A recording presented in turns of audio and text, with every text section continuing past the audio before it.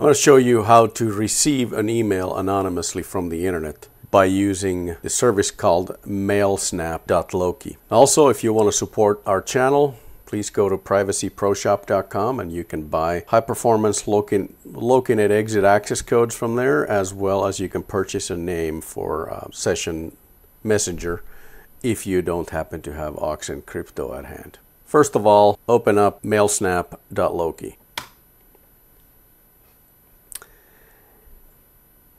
And then it gives you instructions here. It says send an email to any address at mailsnapp.com. So let's send an email. Okay, so let's type an address here.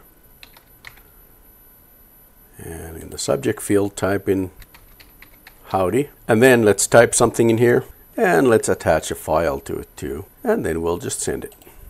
Type in the email address that we typed. It was any address. Click access account. And there it is. It just came. Click open email. And here is the message. This is an email. That was the text. And then we had an attached file to it. So we'll click